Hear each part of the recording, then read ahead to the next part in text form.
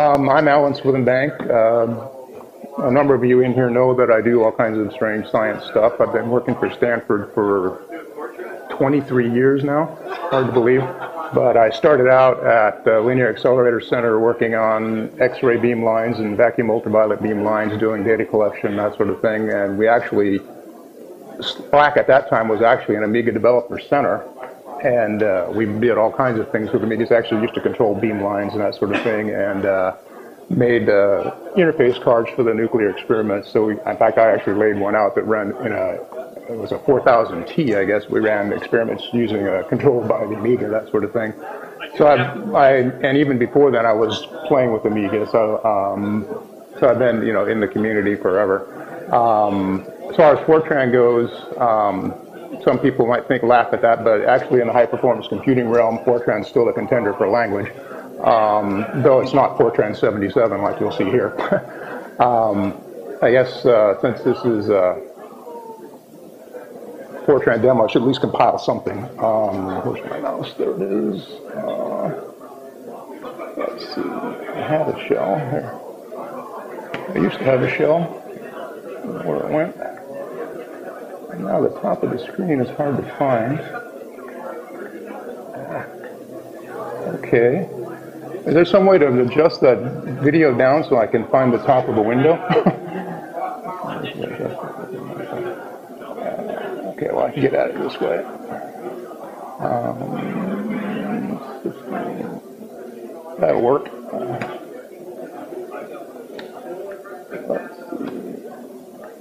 Uh,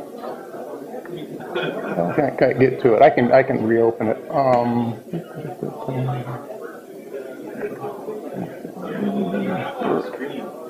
Oh, it's going to open it in the same place, though. Yeah. If I can view it somewhere, keep trying. Get lucky and yeah, see that. Well, I see it's cutting the video off. That's the problem. Yeah, um, that's going to be a little bit problematic. Well, I can kind of work with it this way. Most of what I need to see is there. Um, all I need is a command line. There's one. Okay, let's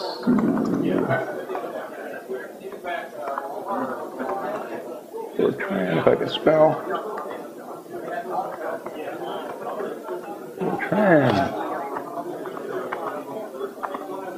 Uh, work. Hmm. Okay, so um, let's first look at the code, I guess. This is just a real simple, this is just straight Fortran, nothing to do with the Amiga. Um, that's still going to be a problem. Um, anyway, it's pretty straightforward. Just uh, define a character string um, and uh, write enter to quit to quit and check to see if you entered quit. If not, go back.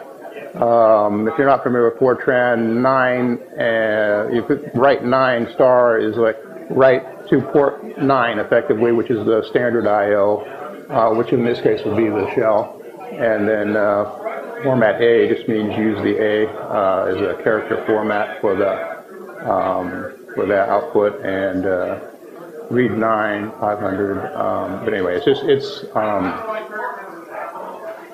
pretty straightforward stuff. Uh, let's get over here. This is going to be a problem.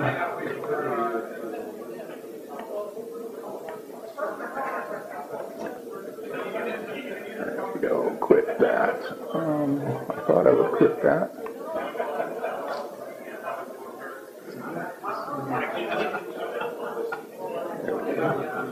Quit.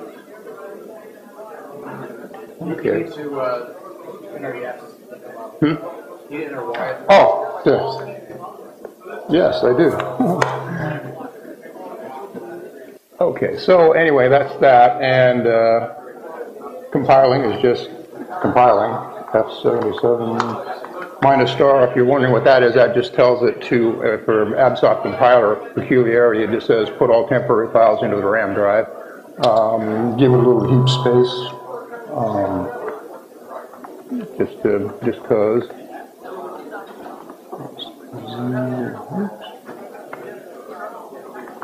And then that's called interread.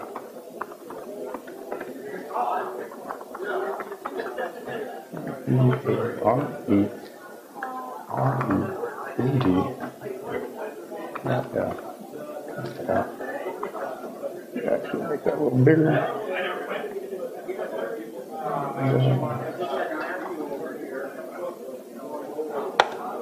And that's, what's it say? Wow. I can't see sideways. Um, what is it? I-N-T-R.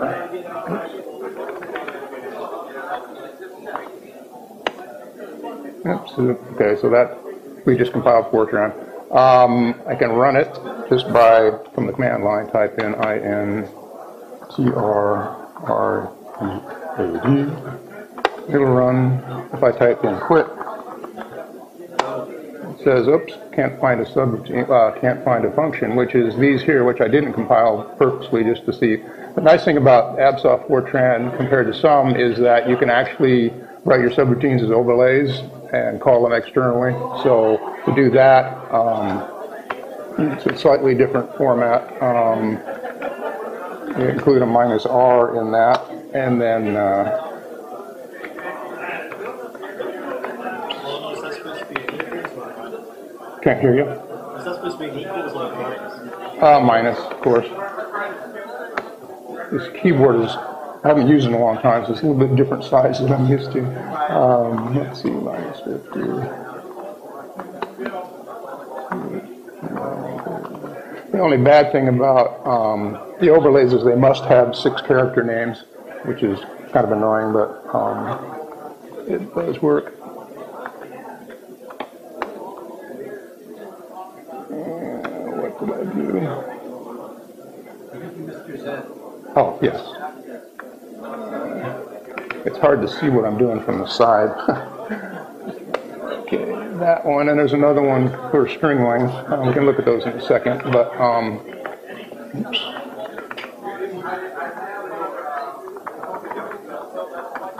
One of the complaints people had Fortran back in the day was character handling, that sort of thing was difficult, but you can write really simple little functions that change, you do change the lowercase, check the string length, all that sort of stuff. And, and with the overlay like this, you just throw them in and use them. So now if I do quit, or not quit, I do um, enter read, enter quit to quit, and I type in something else, it won't let me. It's not really smart, so I can do something like that, Q-U-I-T, that, and it'll still quit because it's just scanning the string for the function for the term quit and go. Um, the, these functions are nothing special. Uh, just look if it's find the length or change the characters. Just uh, do that. Um, so you look for anything between 65 and 90, which are um, capital letters, basically in ASCII or something. I think, yeah, well, anyway, they're ASCII characters anyway. And you uh, add uh, 32 to, yeah, 32 makes them small case, yeah. So anything in there and add 32 just because of the way the ASCII coding is done. So you could just change it to lowercase. Um, quit. And then um, the other one, string length, is uh, this is the boring part. I'll get through in a second just to see what Fortran looks like if you've never seen it before. Implicit none. Fortran is a strongly typed language, so it if you don't tell it implicit none, letters I, J, K, L, M, I think there are five or six characters in the alphabet will forcibly be an integer value and everything else will be a floating value. So if you say implicit none, then you can use um, any character you want for your integer or your float, just so you don't have to force yourself to make. Since you're only allowed so many characters to be forced to then use only a particular character for your integer, that kind of thing makes it even harder to make sense out of the code. Um, so that. Uh, oh, let's see. I get out of this way? Yeah, get out that way. Okay.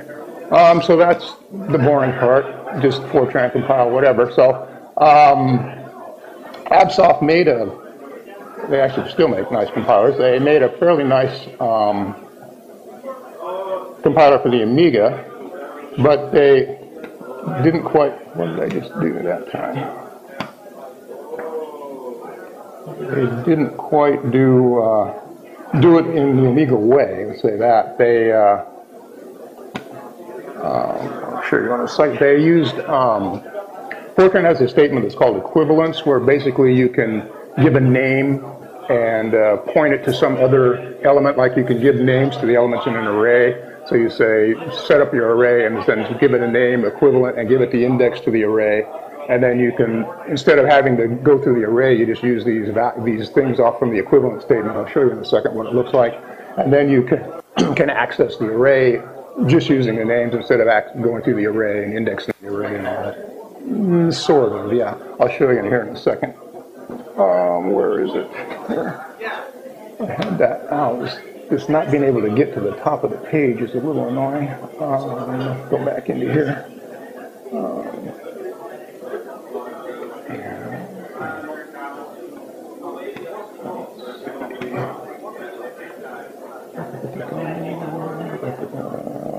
that one. I don't want that one. I want the book. There it is. Uh, in the process of all this, I wrote a book. Uh, it's 720 pages on how to program the Amiga in Fortran. Basically, it's it's essentially a mad dash through the RKMs with all the things you need to understand to make Fortran handle the Amiga system, plus other things on like how to program the MIDI port and a bunch of stuff on graphics and things that are outside of the scope of the RKMs, so th- things you can do. Um, let's see, in here.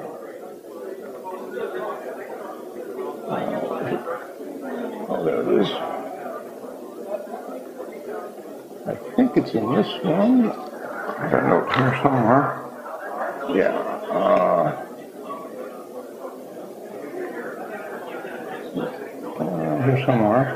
Um,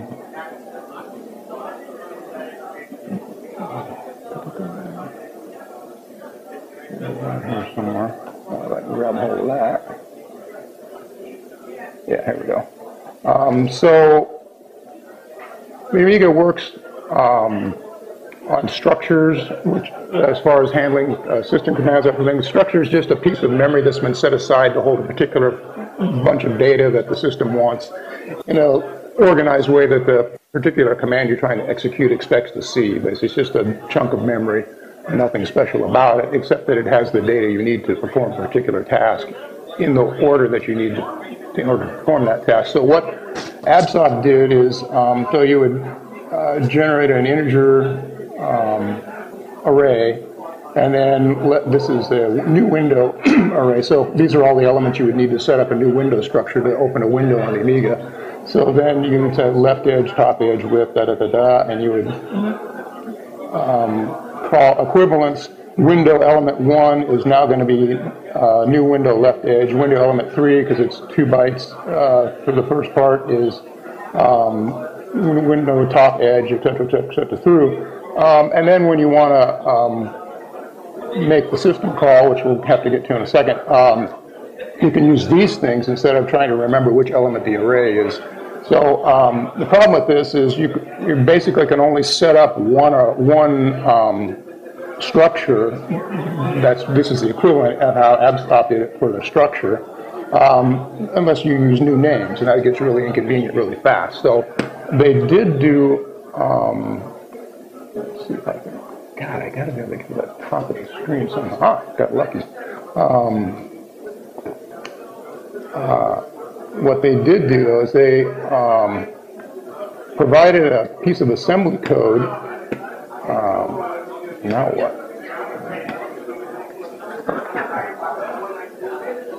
Mm-hmm. Ah.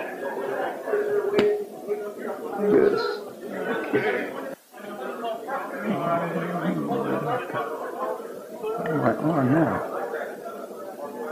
I'm sorry this is so painful, but it's painful for me too. um, F7. Oh, F7, yes. Save file, no. Exit WordPerfect, yes. Okay.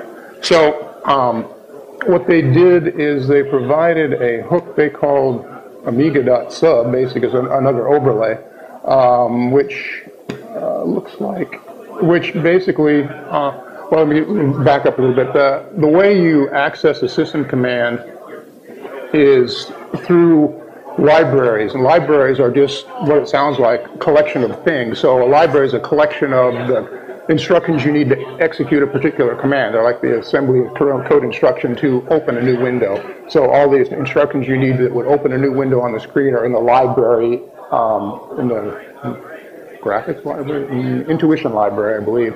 Um, but in any case, you call, so you call a library and then you say where in the library to look for the code you want to execute and then you set up the registers in the CPU, address data, et cetera, et cetera, and give it to, it's a LVO, library vector offset, I believe that's what it stands for. Uh, tell it where to start executing code in the library, and it'll take your the way you have the register set up and the, the data that you've given it, and the structure that you've set up, like the new window structure, uh, and shove that all through the open the new window segment of the library, and, and the window will open up on your screen. Um, so they gave a piece. The problem with the, doing it the way they did with the equivalent statements, equivalent statements is it's uh, the problem with point by value or point by um, pointer essentially. So um, the uh, they did it by I'll see if I can find the code here. Here somewhere.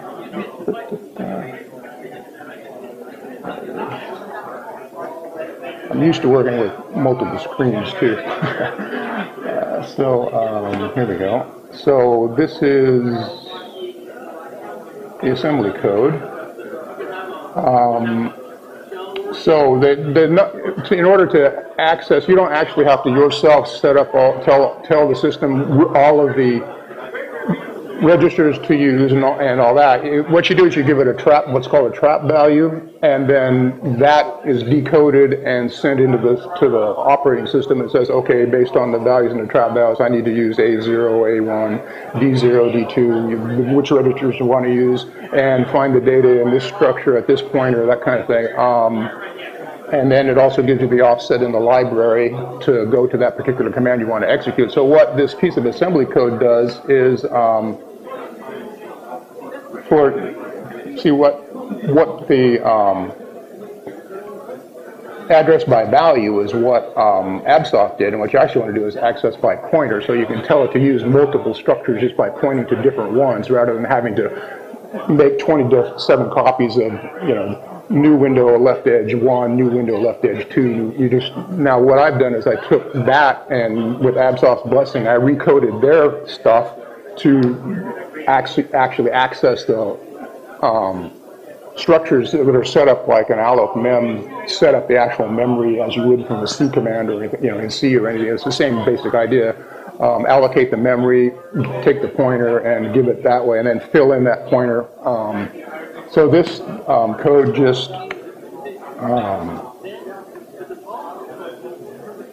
just does that basically. So um, it's I, and I'm not going to try and go through all the assembly code, but you can see in here. Do I want to use the graphics library? Do you want to use the intuition library? Da, da, da, da that kind of stuff. And then the setup uh, the pointer to the graphics library, the pointer to the to the uh, intuition library or whatever, whatever. It can get really, really boring really fast. and I'm afraid to go through too much of that, but um, the uh, bottom line is that now with the modifications I made, you don't have to use the equivalent statements in the, in the Fortran code. You can just use the same command calls that you would use in um, in C, say for example, but instead of just using the in C, you can just basically use this command right out of you know, uh, you know open window, that kind of stuff, just as that because this, this operating system understands C, I guess you can look at it that way. In this case, you have to actually use this inside of a call, um, this Amiga 2 call. I think I have one in here. Um, no, I guess not. Um, I'll find one in a second. Um, so with this, with these trap commands, um, and the other problem is that I had when I was doing this is the these trap commands that um, I'll look in a library. Here's in these include files. You include these include files like the intuition stuff, DOS stuff, or the DOS library. Uh, these are my own names. Uh, common stuff, uh, workbench 2 stuff, utility stuff. But in any one of these, um, you just, these are these trap values. So for open window, um, you, this number is what the, op- what you put into the system, what you feed to this Amiga.sub. And This is actually not very different than what's, how C actually works and all the rest of them. The- You give this function to a, to a, a command into a, to a segment of the actual operating system code in the Amiga when you're programming in C, and it does basically the same thing, but in Fortran, it's not, wasn't set up to do that, so you kind of have to do a lot of it on your own. So, um, if you want to do the activate window command, you need to use this string. If you want to do the unlock base command, you need to use this string. Um, I had to do some recoding of those because of the way that pointer to, uh, or point to value or point by pointer, and I had to recode some of these because there, there are bits in here that say which way you're supposed to do that. So, um,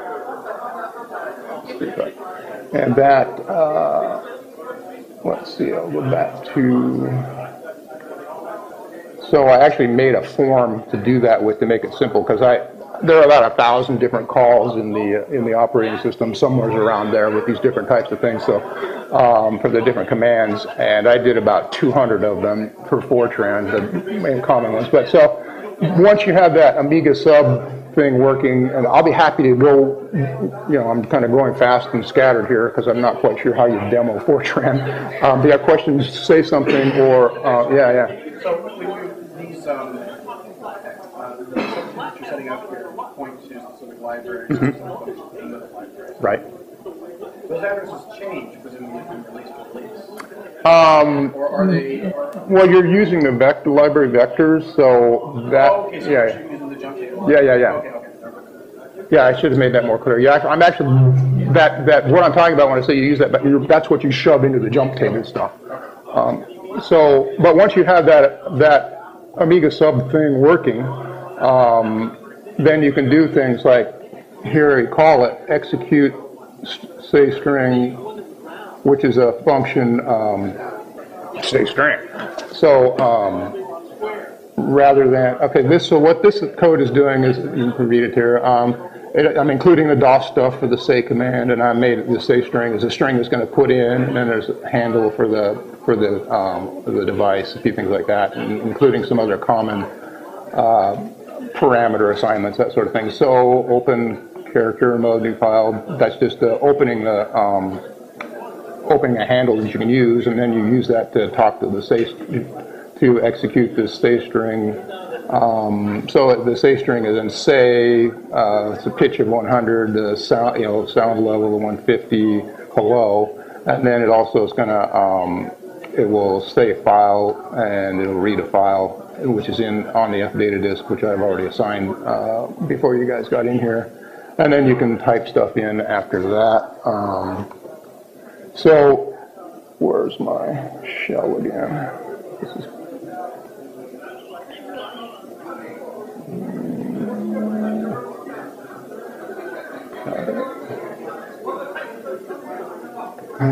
Did I close? I have a bad habit of closing the shell when I'm done using it. I'm not sure if I did that or not. Um, I'll just open another one. Uh,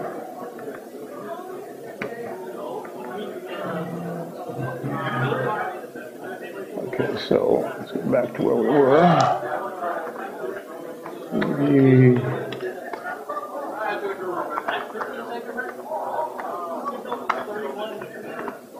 Did I spell that right? Full time demo work. So, let's see, what was that called again? XE say, I think is what I called it. Um,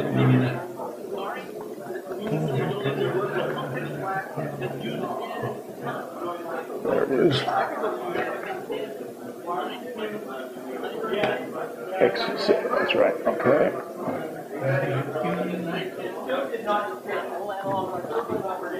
Alright, so should say something soon. I'm not. I'm supposed to have sound. It did have sound.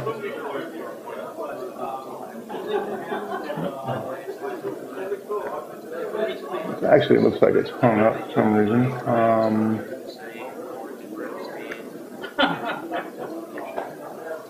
it worked, uh, it worked and before you all saw it. Is it, oh, there we go. Yeah, but it, sh- it was actually supposed to say a whole bunch of stuff before this. Oh, I didn't, oh, it's going that way. I don't hear it. Yeah. Okay, I didn't hear it. So, um, anyway, so you can say. uh,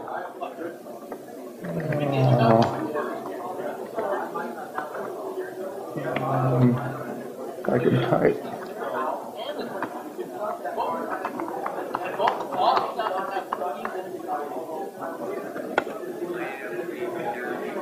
Okay, so I can, yeah, I don't know where it's coming from, but I can sort of hear that. So then just quit to quit. Um, and, you know, that's not too exciting, but once you get this, again, with this Amiga, then you have access to the IDCMP, all that sort of thing. So here is a, um,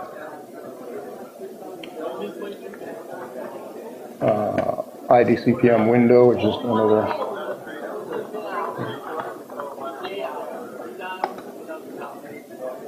Uh, if I could type ID, what did I say, IDCM key, that would work better. Key. So there's a window, uh, popped up, now this is all coming out of Fortran, and, uh, the code is pretty straightforward. You, um, grab the include files you need, you need the exec file, you need the, uh, in, uh, Common, common, anyway, what the, there's the, the libraries you need, or the include files you need for the libraries. And now, what I've done is, you could set up structures using like allocmem and, and do them all yourself, but what I've done is I've created overlay commands like window is, just simply sets up a window structure. So you window, you give it the parameters you need, and then, uh, um, bang, you have the structure. And if you do it again, you get another pointer. You don't have to worry about, um, you know, remembering which one's which. You just, um, uh, just, you know, give it a name here and you don't have to worry about remembering which of these things you need to access because if you're using that equivalency statement, you drive yourself crazy really fast. Because you'd have to do a different equivalent statement for every single one of these for every window you set up, basically, which would be, be horrible.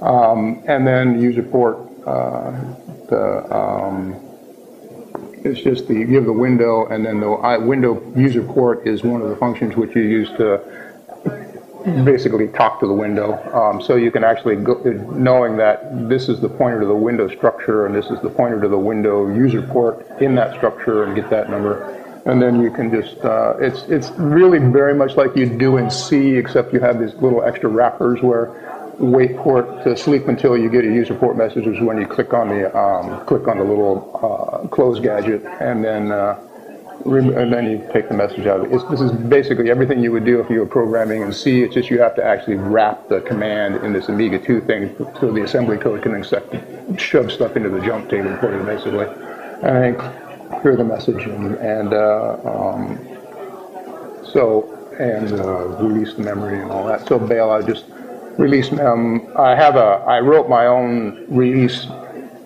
When the, when these things allocate memory, I actually set up uh, an array that keeps track of the pointer to the um, to the, the all of the structures that I set up. So allocmem and all that will do that for you, but I found it much simpler to do it myself rather than depend on on the standard command stuff to do it. Um, then I can just this release mem just goes through those arrays and, and gets rid of the mem. I'll show you that in a second. Um, but then that's so it's really very straightforward, very similar to doing um, you know coding in C. It's just you just have to be used to um, Fortran basically, and you can go once you have like I say once you have this, you can go much farther than just um, you know opening a window or whatever. You can do um, things like uh, well, Wink is cute. Let's see. Um, Wink. Wink opens two windows, and if you click on it, you get a different, so a different um, uh, image for the uh, for the arrow. You know, if you click out here, then it becomes an arrow again, and they'll go away in a few seconds uh, on their own. It's just a, so you could have uh, identify your window by a different, you know, cursor basically, um, and then uh, other things you can do like. Um,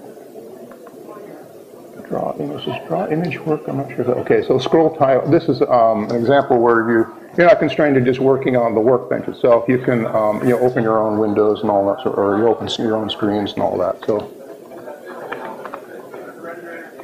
Uh, so this is opening its own screen and then scrolling a message across the screen.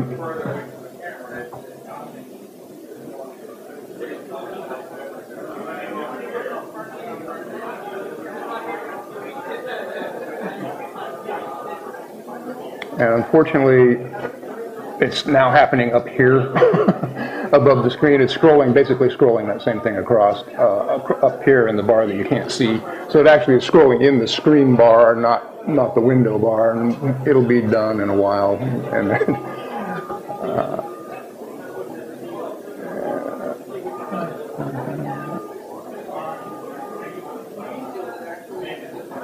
might be a longer message because it's a longer bar. I don't remember now. Um,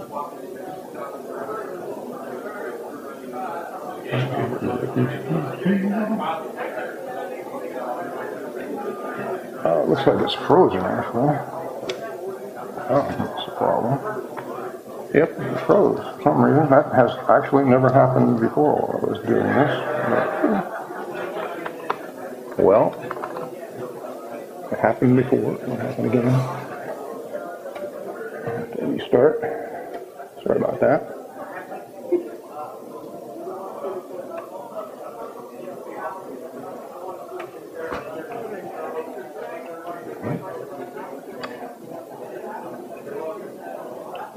Microsoft release their, their tools in the public domain before I don't know. I was actually going to try and contact them and find out because the um, they certainly don't support the Amiga anymore. Um, but it would be nice if they did. I was actually going to try and find out because um, have a portrait environment other than that software? Or that's primarily- there was some some homemade things that people did. There wasn't any commercial type other than Absoft that I'm aware of. Um, And I don't suppose your, uh, your subject library is available somewhere. Oh yeah, I, I I have it on a USB stick somewhere. Um, yeah, that that I'm happy to give out. Um, like I say, I'll I would if I could I would figure some way to make this 700 page book available, but we might work that out somehow. Um, thing takes a while to boot. It's got a PC card in it and all kinds of other things, so it'll get back in a second. Um, there it comes. It's promoting the Retina card now, so so it's And we'll be saying a big hello to all intelligent life forms everywhere. And to everyone else out there, the secret is to bang the rocks together, guys. okay. And now maybe I can move these windows down when I open them before I get too carried away, so that we don't have to go through the pain of. Uh, this isn't going to go on too much longer anyway, but. Um, let's see. One thing I need to do certainly is this. Is, yeah, I'll show you one, a couple other things, and then um, uh, call it good. I think. Uh, let's see. There's just some. It's just fun stuff like using blitter objects from Fortran and that sort of thing that I can show here pretty quick. So I. Oops. Let's see. Hard Covered, um,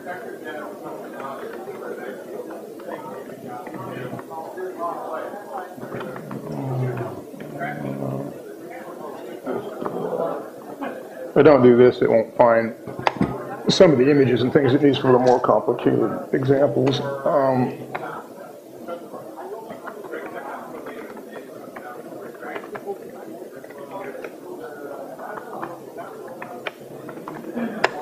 okay, so now. Um, that- Let's see, do I want to show anything more now? I don't need to show anything more there. I'll just do this. Um, so, oh, draw image. Yeah, you're, um, let's see, it's not, not very exciting, but you can see draw image. Um,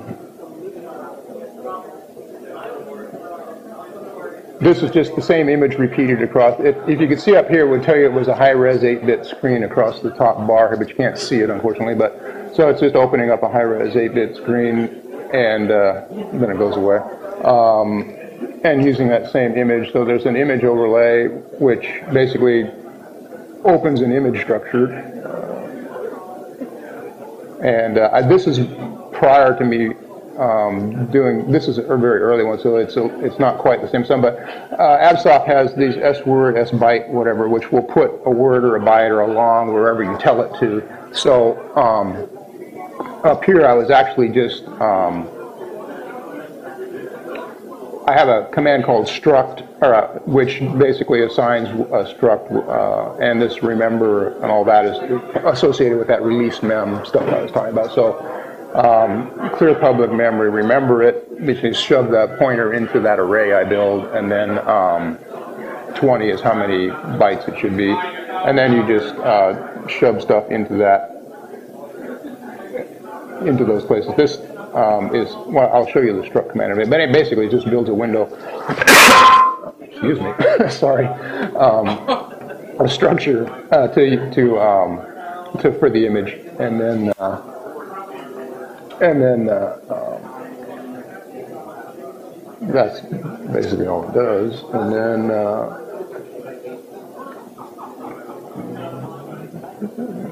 so that's the image, just as a bit plane image. You can actually just um, make it, so to speak, as hex values. Uh, there's some, uh, and uh, I'll do a couple more examples. Um, where so now you see in here, you know, close window, close screen, all that are just these are the same calls you'd make as though you were in C, but you just put this Amiga two wrapper around it, and it does it for you. Um, and uh, let's see, uh, let's see. So then, uh, display test. Uh, which one is that? Um, oh, that's one thing you can, of course, um, link and that sort of, you know, uh, your, these overlay files, you don't have to, you can put, you can, in the local directory, you can put them in the L directory, or you can assign and path and, and add and all that sort of stuff, whatever you want to do. Um, but, uh, let's see, what's that called? This test. Oh, here we go. Button press is, uh, no, button press is okay, yes. Uh, let's see, um, where am I? So, I'll do it first unlinked. If I can type. Jeez. Um, and it's loading up. There's a runtime library that has to load up first, so it takes a little while to do that. And then it's also going to take a little bit while longer because it's now actively calling, you know, pulling all those things up. So, you know, you hit this and stop, go, stop, go, and close with the gadget. Uh, again, up here, there's messages that you can't see about the, um, the uh, size of the screen, that sort of thing. Um, now, if I do this linked version, um, button press L, uh, it will still load kind of slowly initially because it's doing a runtime library.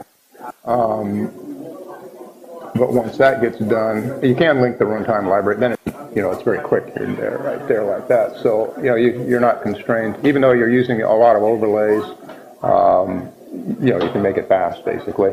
Um, there is an important thing, though. So that so you'll notice here it's, you know, F sub is L minus star to use the temporary in memory. Dot L, okay, then that's the, the main you're going to do, and then all the overlays you're going to link to it. Um, you might want to, I always want to and sometimes forget that you shouldn't uh, use the same name for the link version, but if you do the same name and you try to write back the link stuff back into the to the same file, you get one of those crashes that after a cold restart takes about eight minutes for the drive to figure out that it can reboot again. So you don't want to do that. You always want to use a different name, and then if you want to use the same name, rename it after you're done, uh, just in case you ever do this. um, and then uh, let's see.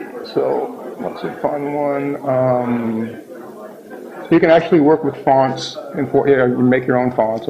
Anything you can do in any other language, you can do in Fortran with this setup. Um, let's see, button press. What else have I got? Um, oh, Bapa Bob. Yeah, you can use um, uh, blitter objects, sprites, whatever, just as you can anything else. The, the only problem is with um, this one. I wanted to use the collision, the do collision And although do collision is a uh, official Amiga operating system command, it does a little impure thing in there where it actually pokes a pointer that the Fortran uh, assembly, that Amiga.2 thing doesn't quite understand. It Took me a little while to figure it out, but I actually had to write a little bit of assembly code that does a load pointer to a RAS port. Basically, it, it um, you have to tell it where you know you force it in rather than than uh, putting it in through the trap vector kind of stuff.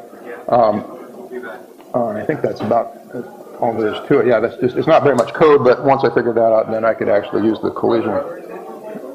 Uh, very few. I think this is the only one that really got me. There's a couple other. Oh, there's another glitch I'll show you. Not a gotcha, but just I had to do. Um, is um, oh yeah, this RAS size. Um, the like if you go through the RKMs, you'll find a lot of C macros. Well, C macro, you know, is a string basically that C calls. Well, Fortran doesn't know how to call and use that string, so I had to write my own RAS size command, which is just you know find the size of the for the raster um, from the you know from the hyphen width, um, and that's all it does. So I just wrote a little bit of Fortran that does that and just call this RAS size instead of the system macro. Um, but then, uh, so I'll just run the link version this time. So.